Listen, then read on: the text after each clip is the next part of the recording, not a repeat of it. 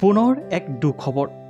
হৃদৰোগত আক্ৰান্ত হৈ মৃত্যু হ'ল সকলোৱে মৰমৰ অভিনেতাৰ সিদ্ধাৰ্থৰ সূৰ্যকুমাৰ। জিমত ৱৰ্কআউট কৰি থাকোঁতে হৃদৰোগত আক্ৰান্ত হৈ ততাতৈয়াকৈ আই চি ইউত ভৰ্তি কৰোৱা হৈছিল যদিও অভিনেতাজনক বচাব নোৱাৰিলে।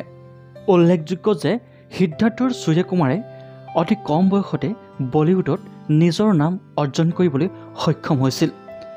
হিন্দী ধাৰাবাহিকৰ কেইবাখনো জনপ্ৰিয় ধাৰাবাহিকত অভিনয় কৰাৰ উপৰিও কেইবাখনো বোলছবিতো অভিনয় কৰিছে সিদ্ধাৰ্থৰ সূৰ্যকুমাৰে।